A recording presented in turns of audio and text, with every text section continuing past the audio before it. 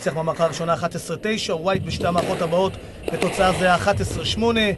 אה, ניקול החזיר 11-6 במערכה הרביעית, וזוהי המערכה, אה, לא סליחה, אנחנו במערכה הרביעית כרגע, והתוצאה היא אה, כמובן 2-2. היתרון הוא של ווייט. ראית את זה מהרצפה? מדהים, מדהים, פשוט מדהים. לא יאומן, אינסטינקטים אדירים.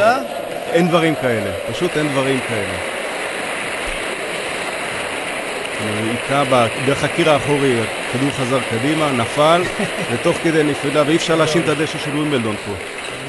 זה גם לא את המשטח המדהים שיש ברעננה.